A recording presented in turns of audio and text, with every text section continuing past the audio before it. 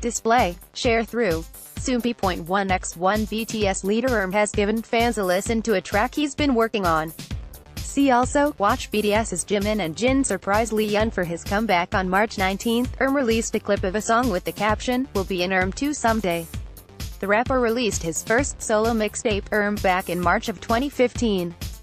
Soompi. Display, News. English English.300x250, BTF Soompi. Mobile. English English.300x250, ATF The tweet was a big surprise gift for fans, who are currently trending, RM2, worldwide on Twitter. Take a listen to the clip below. We'll be in RM2 someday. pic.twitter.com slash 2 at BTS underscore TWT, March 19, 2018 Since releasing his first mixtape, ERM has not only been working on BTS's music but also many successful solo projects, including hit collaborations with Wale and Fall Out Boy.